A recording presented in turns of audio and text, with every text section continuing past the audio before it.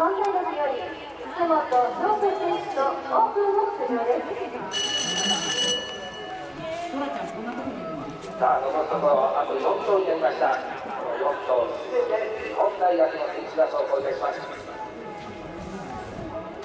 8年連続団体優勝はほぼ決まりでしょう。さあ、一気のスタートに向かいます。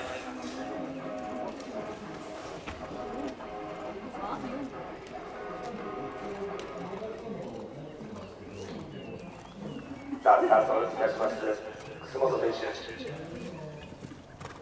奈良県立山部高等学校から日本大学のスポーツ科学部とスポーツ学科に進学いたしました3年生の間乗馬歴は24年あります選手昨年は個人のバーバイス競技で失点となってしまいましたが今年はこの最終種目まで駒を進めております昨日のバーバイス競技では30.3点の減点で第2位でスタート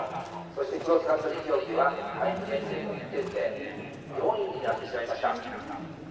さあこのまま減点ゼロできますと4位以上が決まります。オランダで生まれました。14歳になります。